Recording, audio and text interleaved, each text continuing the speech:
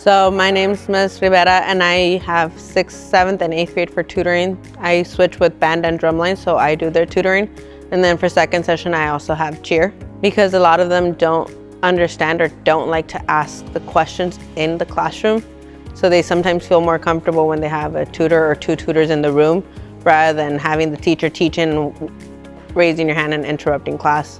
Even though that's what we tell them to do, but they don't usually do that. Yes, especially with math because math, there's many ways to solve one simple problem. And sometimes they don't get the way that they're being taught, or sometimes they just need to hear it one more time or hear it a different way, like, oh, this is easy. I have cheer twice a week and I have them practice when we have a parade, sometimes all week. They have parades on Saturdays and sometimes Fridays. And we have them practicing cheers. I'm about to teach them a dance right now.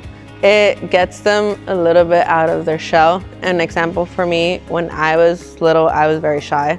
Still am, kind of. But being in a team and yelling, it gets you out of the shell. It, gets you to perform in front of people when you usually wouldn't stand in front of people and do a presentation. Yes, we go to, we've gone to the soccer games and volleyball games and had them cheer for their class schoolmates, classmates, because they're older. But it teaches them all about their sports and having school pride. I encourage parents to come and learn more about our ELOP program and come in and sign up their students. Your student will have a great time here with us.